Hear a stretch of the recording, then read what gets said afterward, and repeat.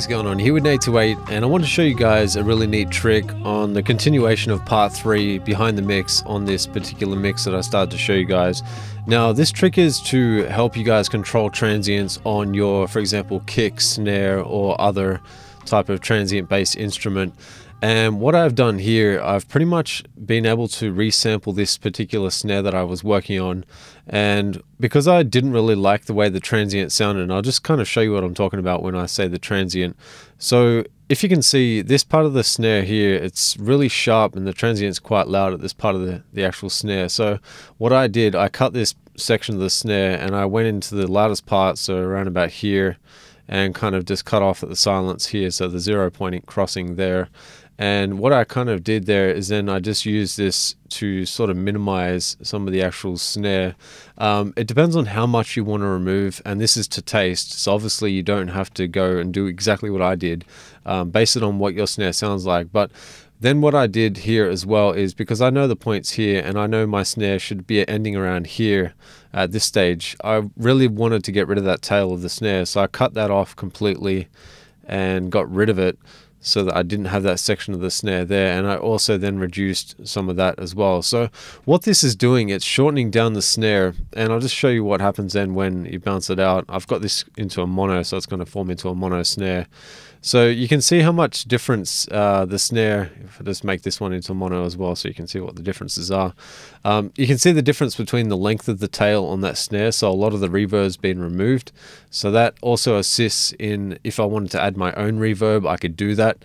Um, it allows then to be obviously the, the actual transient, the first part of the transient that hits with that snare, it's a little bit less harsh when you first hear the snare. So you can manipulate sort of samples that you have already inside of your project. So say for example, you, you get sent a project or you're working on your own project and this is something about that snare or the kick or whatever it is. You can do the same thing with your kicks as well. Um, something about the kick that you don't like, for example, this part here, I probably wouldn't like that kind of a really sharp transient at the start of the kick, so I might remove some of that.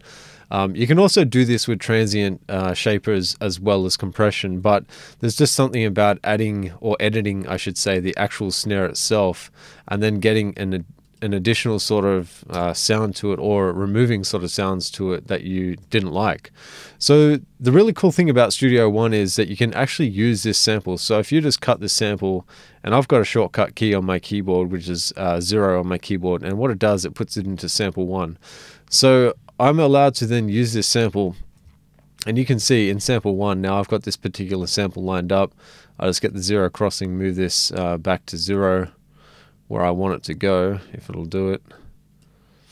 Oh man, this thing's funny. Sometimes it doesn't like to uh, do what you ask it. Anyway, there we go. So you just move that up to the uh, the snare that I've got. And depending on where I want the, you know, the start of the transient, I could just zoom in really close and just get that to hit right on the transient or just before it. So it leaves a little bit of space. And that would allow me then to sample, or I should say resample that snare. So if I hit my keyboard, if it's actually soloed, you can hear the snare.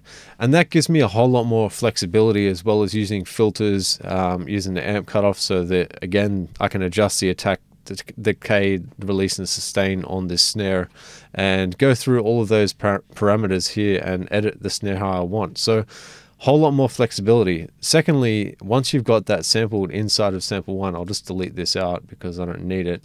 Um, but what you can do then is inside of Studio One, when you get your instruments, for example, this snare track, you can analyze it on this top bar here. So this question mark, by the way, if you hit that, it'll tell you everything about what's going on here. So it's just a good tip if you don't know much about Studio One to be able to get all the stuff you want working for you.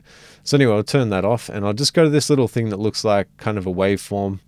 And what I would do then is hit that you can use this on standard or sensitive mode. I tend to use standard for drums because it's got a drum setting here and you can leave that as uh, the setting that you need and that's for, for stretch as well, so time stretching and the little I mode. So if you turn that on, which I've already done the analyze, so basically at the start here you hit analyze, it applies the analyst to that. Um, if you zoom in, you can see these little blue markers on each snare where it's really picked up the transient point. And the second thing that you do is if you have sample one already loaded here, you can just drag and drop, literally just drag and drop. So if I just deleted this out and I just drag this down here, it will then move the transients that came off of that cent- that uh, that pickup originally. And inside of this, I've got my MIDI here. So if I zoom in, I can see all my MIDI. Uh, if I want to just get them so it's more legible when I'm looking at it on here. Um, now I can see all, my, all the MIDI lines up exactly with that transient of the snare. And there's my snare. It will play out in the exact same timing as the original. I'll just get back to what I had there because I already had it set up. But that allows you then to manipulate the snare and adjust it how you want so that you can have whatever kind of sounding uh, reverb that you want on your snare rather than what you were given at the first time it was recorded. I hope this helps you guys out. If it does, remember to like the video, subscribe to the channel. Um, there's going to be more continuations, part four and part five, and I believe I'll probably get up to about part 10 by the time I finish this mix. But I just wanted to go through some real, real little assisting tools that will help you and uh, get you on your way. So catch you on the next one. Peace out.